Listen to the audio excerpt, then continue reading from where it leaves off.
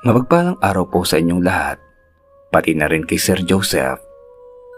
Ako nga po pala ulit ito si Pablo, ang sender ng mambabarang na albularyo laban sa huwad na albularyo. Hindi na po ako magpapaligoy-ligoy pat ibabahagi ko na sa inyo ang karugtong ng aking kwento. Matapos ngang makasagupa namin ng aswang, hindi na ako nag-aksaya pa ng panahon. Kagad ko nang inaral at isinaulo ang lahat ng mga kaalaman sa kanang ibinahagi sa akin ni Mang Omeng. Aaminin ko po Sir Joseph, noong unay medyo nahihirapan akong aralin ang iilang mga orasyon. Gawa ng nananalaytay sa dugo ko ang pagiging isang mambabarang. Subalit hindi kalaunan ay napagtagumpayan ko naman ang lahat. Dahil na rin sa suportang ibinigay sa akin ni Mang Omeng. Paminsan-minsan naman ay dumadalaw si Luisa sa bahay at nagdadala ito ng kung ano-anong mga pagkain. Kaya't hindi ko maiwasang hindi mahulog ang loob ko sa kanya. Bukod kasi sa maganda ang dalaga Sir Joseph, ay mabait pat maalaga at maasikaso. Masasabi ko ang mga bagay na yon dahil sa palagi niya akong inaasikaso sa tuwing nagsasanay ako sa pagiging albularyo. Isang umaga, nagulantang na lamang ako nang makarinig kami ni Mang Omeng ng sunod-sunod na katok sa pintuan. Kagad akong napatayo mula sa pagkakaupo dahil sa kulang na lamang isirain ang pintuan ng bahay. Kumakain pa naman kami ni Mang Omeng ng mga sandaling yon. Sandali! Andyan na! Pasigaw kong wika upang tumigil na sa pagkatok ng pintuan ang kung sino mang tao na nasa labas ng bahay. Ano ba naman kasi yan? Ang aga-aga. Reklamo ko pang wika na makalapit na ako sa pinto. Nung mabuksan ko nga ang pintuan ay bumungad sa akin ang isang aling umiiyak. Kaagad ko siyang tinanong kung sino siya at kung ano ang nangyari sa kanya at kung bakit siya umiiyak. Si Omeng, nandyan ba? Balik niyang tanong sa akin. Nandito po, bakit po at anong kailangan niyo? Tanong ko naman dito. Pakiusap, tulungan niyo ako, ang anak ko kasi. Hindi na naituloy pang sasabihin ng ale at napatingin siya sa likuran ko. Ikaw pala Nilda, bakit anong atin at naparito ka kaaga-aga? Tanong ni Mang Omeng sa ale. Dali-dali namang pumasok ang ale at walang pag-aalilangang lumapit kay Mang Omeng. Omeng, pakiusap, tulungan mo ko. Yung anak ko, kagabi pa nagdideliryo. Umiiyak na pakiusap ng ale kay Mang Omeng. Tumingin naman sa akin ang matanda't nagwikang samahan ko si Aling Nilda sa bahay nito at susunod na lamang siya. Sige po, Saglit lang at magpapalit lang ako ng damit. Uwi ka ako at pumunta na ako sa kwarto ko para makapagpalit ng damit. Pagkalabas ko'y sandali muna akong uminom ng tubig. Tapos ay inaya ko na lamang si Aling Nilda na pumunta sa kanilang bahay. Noong unay akala ko'y kababaryo lang namin si Aling Nilda. Subalit noong makapag-usap na kami ng masinsinan habang naglalakad ay nalaman kong taga-karatig baryo pala ito. Tinanong ko siya kung paano niya nakilala si Mang Omeng. Pinsan ng asawa ko si Omeng, kaya kilala ko siya. Anito pa sa mahinahong boses. Tinanong ko naman siya kung ano ang sakit ng anak niya, bakit ito nagdideliryo. Sinabi niya namang nakaraang araw pa nilalagnat umano ang anak niya at may mga butlik na tumutubo sa balat. Sinubukan na raw nilang patignan sa doktor pero wala namang nakitang sakit ang mga ito. Ang tanging sinasabi lamang sa kanila ay baka minakain lamang na hindi maganda ang kanilang anak kaya nagka-allergy sa katawan. Ganoon po ba? Maiksing tugon ko dito.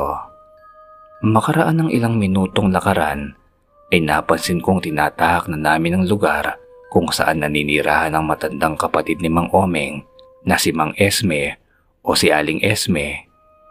Magsasalita pa sana ako nang sabihin ni Aling Nilda na pinatignan niya kay Aling Esme ang anak niya subalit wala pa rin nangyayari.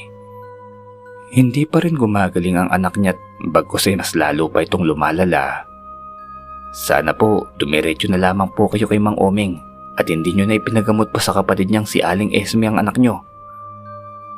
Bulalas kong ubika sa ale. Sinabi niya namang bali-balita sa kanilang lugar na magaling na manggagamot si Aling Esme at magaling na albularyo ang kapatid ng asawa nitong Yumao. Kaya't sinubukan niya munang ipagamot ang anak niya sa dalawa dahil medyo may kalayuan na rin ang bahay ni Mang Omeng. Hindi na lamang ako sumagot pa sa sinabi ni Aling Nilda.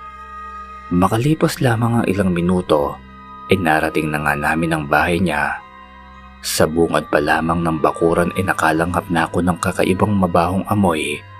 Indikasyong minarkahan ng aswang ang bahay nila. Sandali ko pang inilibot ang paningin ko sa bakuran at noong madapo na nga ang tingin ko sa itaas ng babungan, ay nakita ko ang marka ng aswang.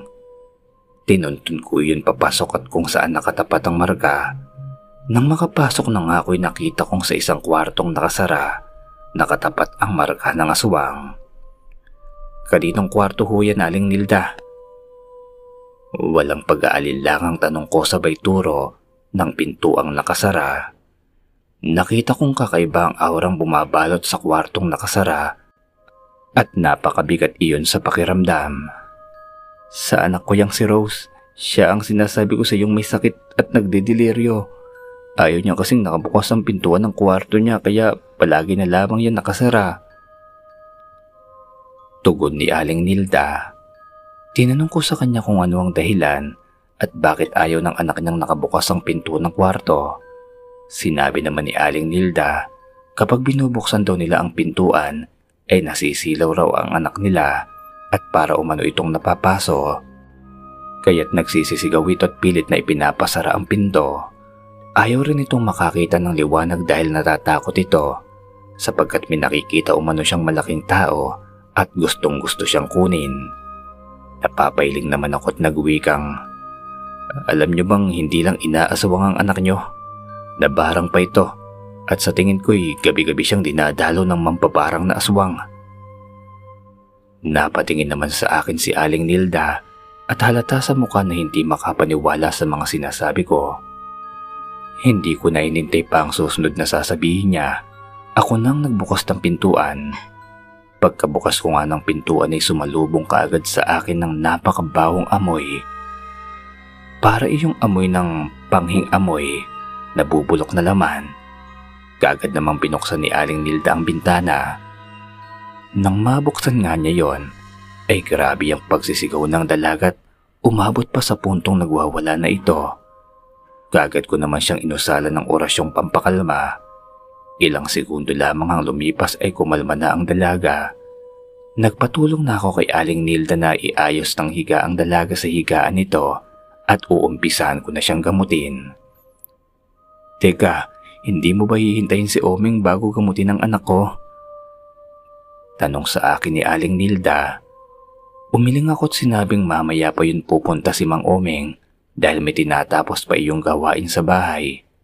Sinabi lang noon na susunod ka agad pero ang totoo ay hindi ka agad iyon makakasunod. Kung hihintayin pa po natin si Mang Oming Aling Nilda, baka mahuli na ang lahat dahil itong anak ninyo ay nagdadalang tao at iyon ang pinupuntiryang kunin ng aswang. Uwi ka ako pa sa matanda. Napamaang naman ang matanda't napatingin sa anak na kasalukuyan ng nakahigat na kapikit. B- buntis ang anak ko? Tama ba? Ulit na tanong niya sa akin at hindi makapaniwala sa sinasabi ko. Tumango naman ako at sinabing tama ang narinig niya Buntis ang anak niya at sa tingin ko ay alam ko na kung sino may kagagawan ng pagkakasakit ng anak niya at kung bakit hindi ito gumagaling-galing. Sige ho, uumpisahan ko na pong gamutin ang anak ninyo. Uwi ka ako sa matanda. Ah, uh, siya nga pala aling Nilda. Pwede po bang tulungan niyo akong palitan ng damit ng anak niyo? Nang maiksi para hindi na ho ako mahirapang lagyan ng langis ang sugat niya sa katawan. Sad ko naman, Agara namang kumilos ang matanda pero mahalata pa rin sa itsura nitong naguguluhan at marahil sa tingin ko ay wala itong kamali-mali sa mga nangyayari. Habang pinapalitan niya nga ang damit ng anak niya, ay narinig ko pa siyang nagtanong na kung papaanong nabuntis ang anak niya. Gayong wala naman itong pinapakilalang nobyo sa kanila, kaya sino ang amang ipinagbubuntis ng anak nila? Bakit ko raw ba nasabi ang mga bagay na yon? Sa isip-isip ko, abay malay ko, ako bang nakabuntis sa anak nila para alam ko kung sino ang ama? Bakit hindi ang anak nilang tanongin nila kapag gumaling na ito? Mabuti na lamang talaga't hindi pa nakuha ng aswang na iyon ang ipinagbubuntis ng anak nila. Matapos bihisan ni Aling Nilda ang anak niya, ay kagad ko na iyong inumpisahang gamutin. Maraming mga ritual akong pinakawalan, maging maayos at ligtas lamang ang dalaga. At ang sanggol sa sinapupunan nito habang kinagamot ko nga ang dalagay panay naman ng tanong ni Aling Nilda kung ilang buwan na ang pinagbubuntis ng anak niya at kung bakit hindi sinabi ng albularyong kasama ni Aling Esme na buntis pala ang anak niya. Hindi na muna ako sumagot at sa halip ay itinuon ko ang sarili sa panggagamot. Hinayaan ko na lamang na panay ang tanong ni Aling Nilda dahil sa totoo lang Sir Joseph Medyo wala na sa hulog pang mga iilang katanungang lumalabas sa bunganga ng matanda. Tanungin ba naman ako kung alam ko ba raw o kilala ko ba raw ang ama ng ipinagbubuntis ng dalaga? Paanong nangyari at nabuntis ito? Abay ano ba naman ang mali ko? Kasama ba ako ng anak niya noong ginagawa ang kababalagan? Kasama kung sino mang yung nobyo nito? Isa pa'y hindi ako manghuhula ang katungkulan ko lamang sa mundong ibabaw ay ang manggamot dahil sa isa kong albularyong may tugong mambabarang. Yun lang yon. Napapailing na lamang talaga ako dahil nakikita kong pinipigilan na lamang ni Aling Nildang magalit sa anak. Samantalang ang asawa niya naman ay tahimik lamang at sa pakiwari ko'y nag-iisip rin ito kung sino ang nakabuntis sa anak nila.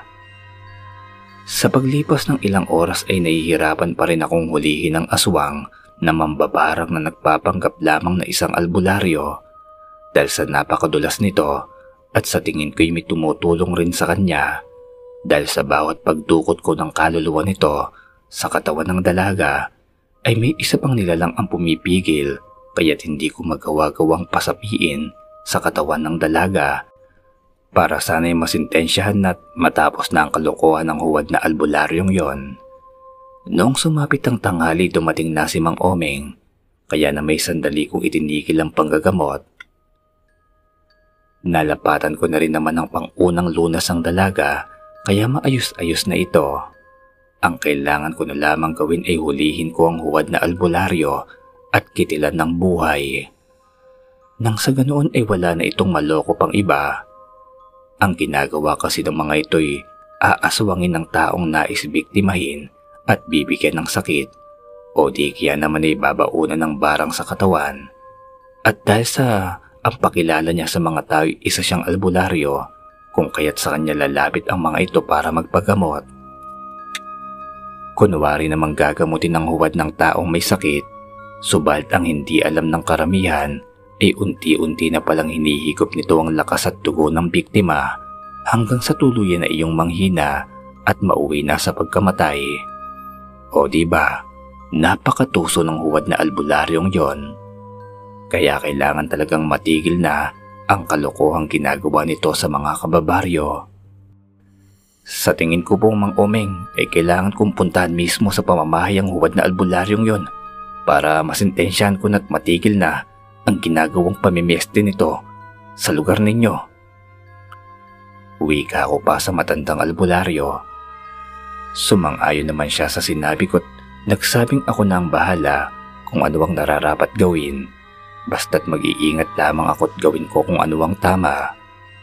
Matapos naming makapag-usap ay hinintay ko na lamang na sumapit ang dapit hapon para makapaganda na. Dahil sa mismo ng gabing yon ay susugurin kong mag-isa ang huwad na albularyo kasama ang manggagamot na kapatid ni Mang Omeng. Noong sumapit na nga ang dilim, ay ay kagad na akong naghanda. Ibinilin ko kay Mang Omeng ang dalagat siya na muna ang bahala dahil may kailangan lamang akong tapusin gawin. O sige iho, mag-iingat ka sa gagawin mo. Anya pa sa akin. Tumango ako't agaran nang ang lumabas ng bahay. Bitbit ang punyal at buntot ng pagi ay nagmamadali na akong maglakad papunta sa liblib na lugar kung saan nakatira ang huwad at ang kapatid ni Mang Omeng. Nang makarating na ako sa liblib, ay hindi ko matanaw ang bahay ng huwad na albularyo, kaya ang ginawa ko ay nag-usal ako ng pambasag ng sabulag. Matapos kong ang usalin yon, ay natanaw ko na ang bahay at malapit na pala ako. Takte, naglagay pa talaga kayo ng sabulag. Akala nyo hindi ko malalaman yun ah. Bulong ko sa sarilit nagmamadali nang ang maglakad papalapit sa tirahan ng impaktong mapanlin lang. Kahit na madilim na ang sandaling yon, ay klaro pa rin nakikita ang buong paligid. Kaya dire-diretso lamang ako sa paglalakad at noong matapat na nga ako sa kanilang bakuran, ay agarang bubungad sa akin ng napakalaking aso. Hindi pangkaraniwan ng laki noon, gawa ng mas malaki pa ito ng bahagya sa maliit na kabayo. Dahil sa labis na galit na nararamdaman ko, ay hindi na ako nagpatumpik-tumpik pat agaran ko ng hinambalos ng buntot pagi ang nilalang nahaharang-harang sa daraanan ko. Nakita kong tumalsik iyon papasok ng bakuran. Kaya naman dagli-dagli ko na iyong nilapitan at inundayan ng saksak. Hindi ko na binigyan pa ng pagkakataong makaganti pa sa akin ng nilalang dahil sa sunod-sunod na saksak ng punyal na ko ang ginawat ko rito. Maya-maya pa'y lumabas ang lalaking kapatid ng asawa ni Aling Esme kaya napatingin ako sa nilalang na sinaksak ko. Sandali akong napatras nang magpalit ng anyo ito at nakita kong naging si Aling Esme na ito. Naghihingalo na ang matanda habang nakatitig pa rin ng masama sa akin. Bagay lang sa iyo ang nangyari dahil nagpalin lang ka sa mapagkunwaring albularyo at talagang sinaluma pa ang pagiging aswang ng asawa mo. Sambit kong wika. Mabilis naman akong sinugod ng huwad na habang may inuusal itong orasyon at ibinabato iyon sa akin. Subalit ni isa sa mga inusal niya ay walang tumama kaya't napahinto ito at nagtanong kung bakit hindi ako tinatamaan ng mga orasyong barang na inuusal niya. Baliw ka ba? Paano kung tatabla ng mga inusal mong orasyon sa barang? Eh isa rin akong mambabarang. Mambabarang ang nananalitay sa dugo ko.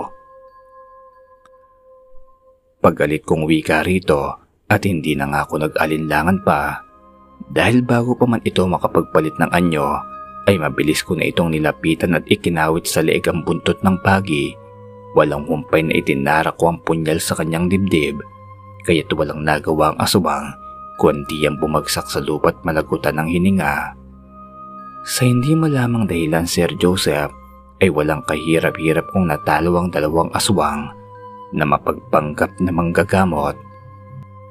Sambit ko't na itanong sa sarili, marahil kaya, kaya ba hindi ako nahirapang gapiin ng dalawang aswang dahil sa isa akong mambabarang na albularyo? Matapos kong ang makumpirmang nalagutan na ng hiningang dalawang nilalang, ay bumalik na ako sa bahay ni Aling Nilda Sinabi ko sa mga itong ligtas na ang kanilang anak, ang alalahanin na lamang nila ay kung sino ang ama ng sanggol na ipinagbubuntis ng anak nila dahil hindi ko iyon masasagot. Nang matapos nga ang pangyayaring iyon Sir Joseph ay ako nang nagpatuloy sa mga gawaing espiritual ng panggagamot ni Mang Omeng. Naging masaya naman ang buhay ko kasama ang matandang albularyo at ang babaeng pinakamamahal kong si Luisa. Dito na po magtatapos ang aking kwento Sir Joseph. Pasensya na po kung medyo napahaba ang kwento ko. Sana ay hindi kayo magsawang magbahagi pa ng mga kwentong hango sa tunay na karanasan ng mga sender na inyong mga tagapakinig. Muli, maraming maraming salamat po. Yon, ganda po ng kwentong ito. Bali, parang medyo nabitin po ako pero wala tayong magagawa. Hanggang dito talaga yung kwento ni Pablo. Lamang po, maraming maraming salamat po sa inyo. Kung nagustuhan nyo po yung kwento, sana'y mag-like kayo at mag-comment. Napakalaking tulong na po nun sa atin